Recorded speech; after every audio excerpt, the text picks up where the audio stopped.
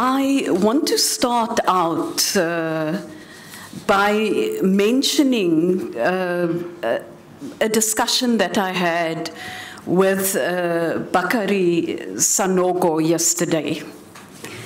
Because I think it's something we'll all relate to, and it's also why this focus on gender equality.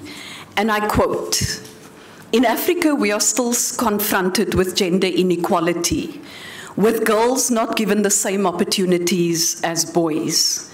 My personal experience drawn from my family shows that without gender fairness or equality, it will be hard to attain true development in Africa. I'm from a family of 14 with seven girls and seven boys. My parents were peasants from the north of Cote d'Ivoire. They moved to Bouaké, a middle level city in the center of the country, to make a better living. My father and his two wives were not educated people. They never went to school. So we understand easily that they brought with them their habits, traditions, prejudices, etc. One of the unfair treatment my father gave to my seven sisters was not to send them to school.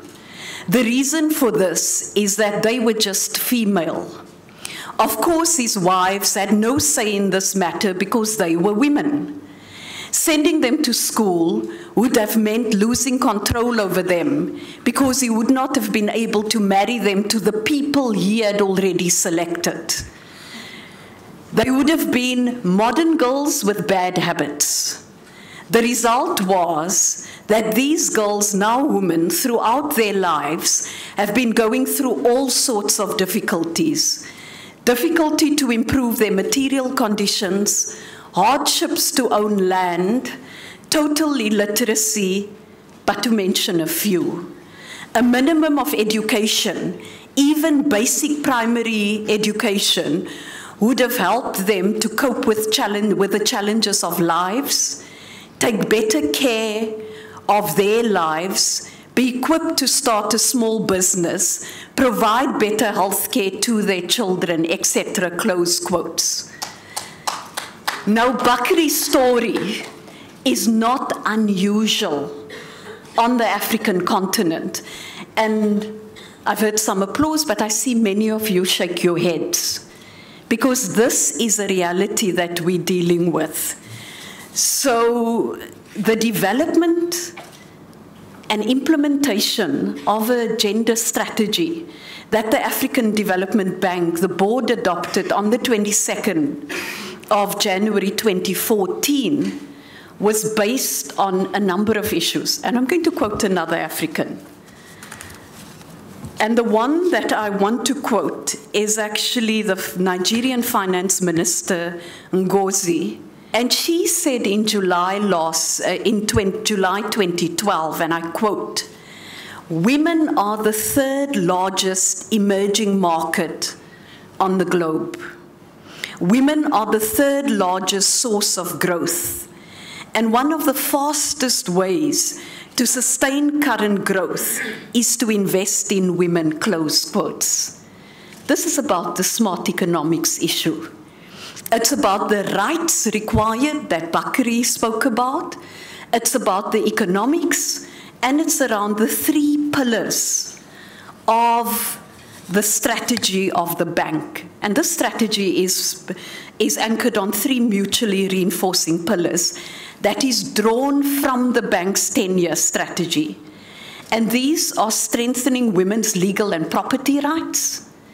And Bakari made the case for that. So if you were unconvinced before, I'm sure you've changed your mind. But I also want to say to you, coming from South Africa, and Southern Africa, in many instances, are considered to be advanced in areas.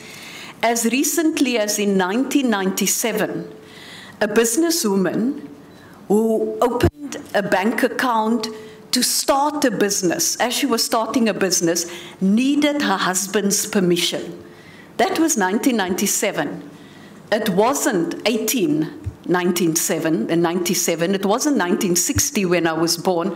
We're talking about yesterday. We also have a particular reality that in the DRC as we speak, for women to travel, they need the permission of their husbands or a male guardian. The same goes for North Africa. So we're talking about current realities. And people have ways to deal with this and various uh, ways of dealing with this. And there are various examples that are given. But as uh, was stated, I mean, many instances, the reason given is culture. But as was recently said by uh, Ban Ki moon, he said, preserve the best in culture and leave the harm behind.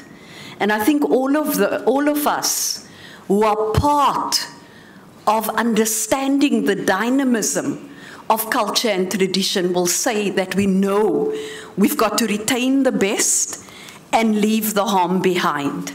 And I raise this as well because, as many of you are aware, that on the 6th of, 6th of February was International Day of No Tolerance to Female, female Genital Mutilation. And we know that if FGM and child marriage share, uh, shares a common root, the ingrained idea that women and girls are somehow inferior and we must uh, so i think what is very clear is that we must end these harmful practices. Because women are the third largest emerging market on the globe if we don't believe in anything else.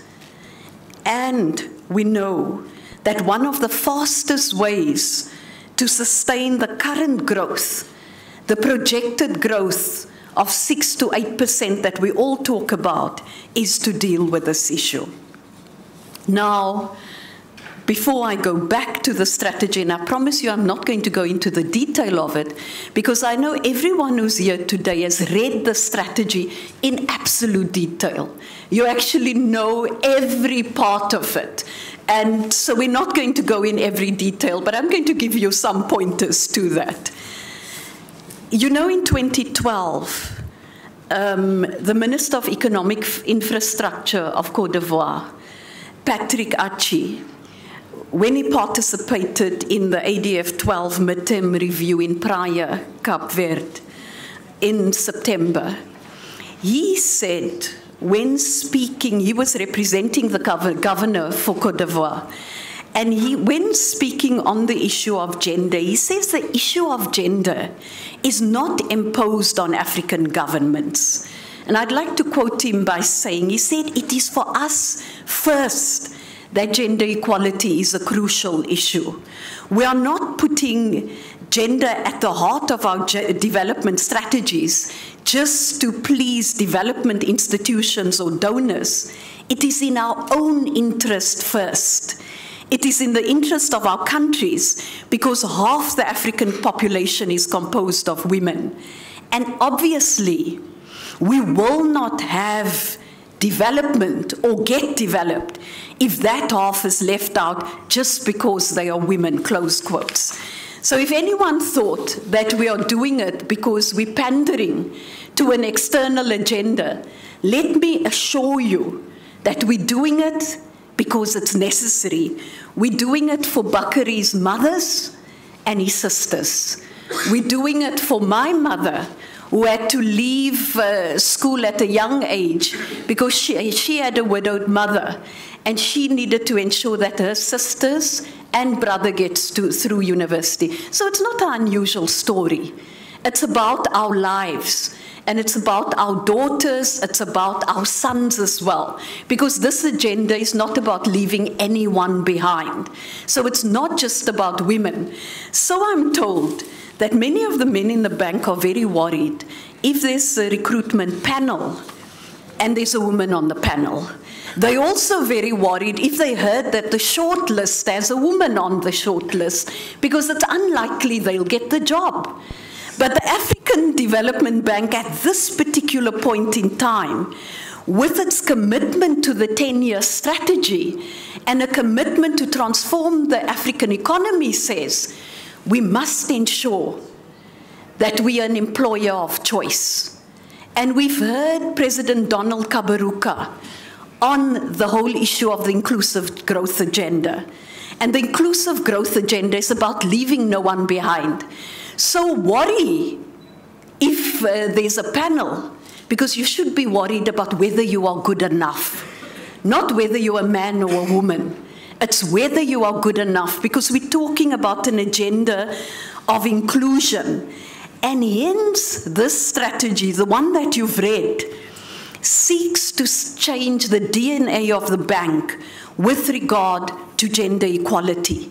It's not just an external strategy, it's about addressing the bank's own transformation and ensuring that it becomes a gender responsive institution. So the bank leadership is one that leads by example.